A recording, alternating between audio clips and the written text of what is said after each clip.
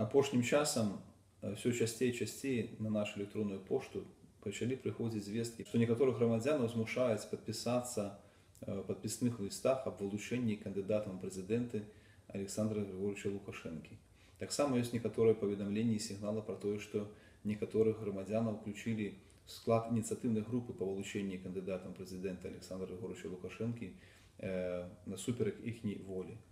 Таму ў звязку з гэтым мы звяртаемся да вас калі вы сталі э, сведкам такіх незаконных дзеянняў ці калі вы сталі ахвярай такіх незаконных дзеянняў паведамляйце нам пра гэта э, трэба нагадаць што паводле выбарчага заканадаўства адным з асноўных прынцыпаў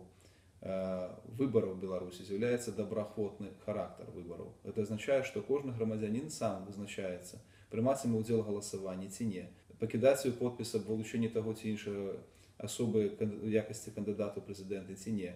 таксама ініцыятыўная э, група фармуецца выключна на прынцыпах добраахвотнасці это азначае што кожны грамадзянін сам вырашае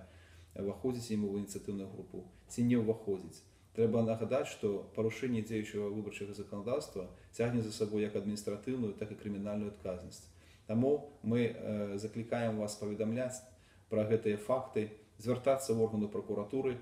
і іншыя дзяржаўныя органы якія б далі належную ацэнку такім дзеянням службовых асобаў ці іншых асобаў якія парушаюць дзеючае заканадаўства